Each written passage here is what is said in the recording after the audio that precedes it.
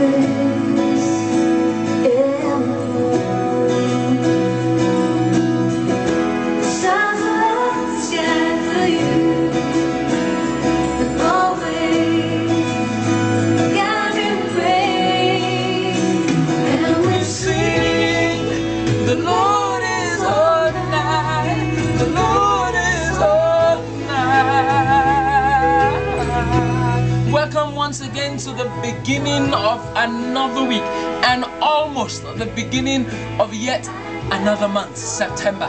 This kind of months are the months in Nigeria we tag the bow bow months, you know, September, October, November, and December. And I'm meant to understand from my Bible that the end of a thing is better than the beginning thereof. You will believe with me that January, God has been faithful. February, God was wonderful.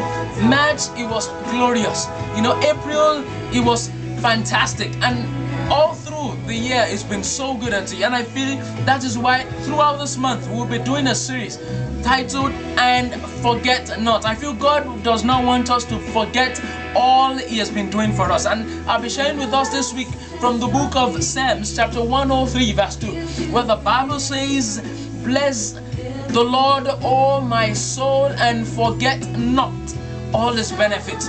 And I feel it is crucial for us at this particular point in time not to forget all that God has been doing for us. Not only since the beginning of this year, but since we've been born, since we, we, we've been alive on the surface of the earth. I'm going to just share a quick story with you.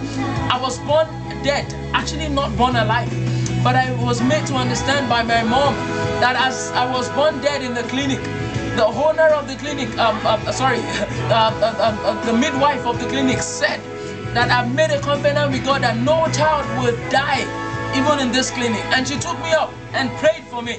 And as soon as it was done praying, I woke up and I cried out like a very joyful baby. And I want you to believe that nothing in your life today is impossible for God to do. And that is why we have to give Him thanks for all He has done and not forget all His benefits of the past. And as we appreciate Him and thank Him for what He has done in the past, He will surely do more.